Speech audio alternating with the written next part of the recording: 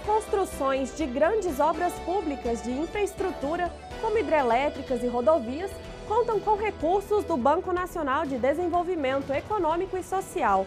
É o caso da nova linha de metrô do Rio de Janeiro, que recebeu mais de 6 bilhões de reais de financiamento do banco. Veja agora na reportagem.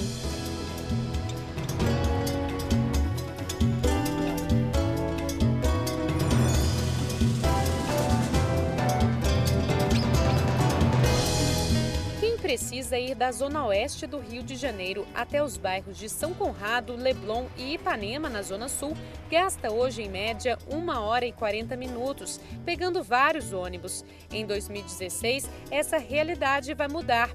As duas regiões vão ser ligadas pelo metrô, que promete fazer a viagem entre Barra e Ipanema em 15 minutos.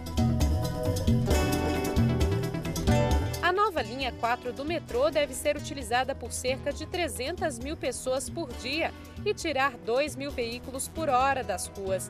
Além de ajudar a reduzir a poluição do ar, o metrô vai economizar tempo na vida dos cariocas. Olha, eu estou esperando com grande entusiasmo. Vamos ver se consegue superar as expectativas. Vai diminuir o tempo. Esse aqui leva quase duas horas tá? Para chegar até lá. Para quem trabalha, vai ser uma beleza. Vai melhorar bastante, né? Em sentido aqui, Zona Sul, evitar até de pegar a quantidade de ônibus que a gente pega hoje em dia.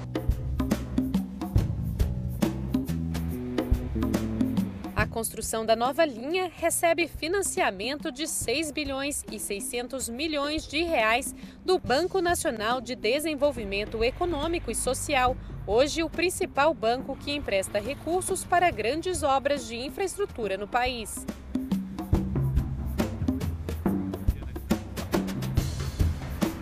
Esses grandes projetos são projetos que requerem uma capacidade uh, de aporte de capital muito grande e cujo retorno, em geral, é lento, o que significa que são necessários empréstimos de muita, muito longa duração.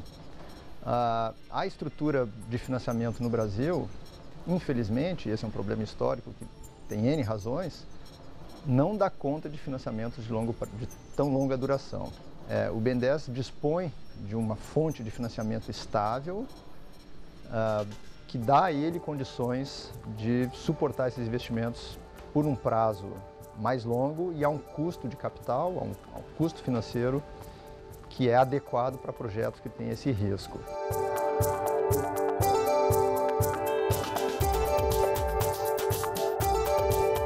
O caixa do BNDES é formado pelo pagamento dos financiamentos, que representam 70% do total dos recursos do banco, e também por parte do Fundo de Amparo ao Trabalhador, cerca de 4%, além de empréstimos do Tesouro Nacional, que em 2014 representaram 19%. Outras operações financeiras que geram lucros representam cerca de 7% do total.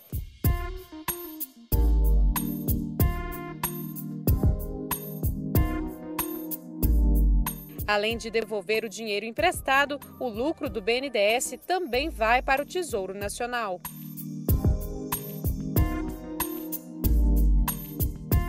De um lado há o empréstimo do Tesouro, que volta ao Tesouro, de outro há a destinação que o banco dá esses recursos, que é o financiamento a empreendimentos, que por sua vez retornam também, ah, tudo com juros, amortização, etc e, e vem ao tesouro. Quer dizer, a, assim como a inadimplência do banco é a mais baixa do sistema, não custa lembrar que o banco também é um banco rentável, que vem apresentando lucros que são, ah, ah, em sua maior parte, retornados ao seu acionista controlador por meio do pagamento de dividendos.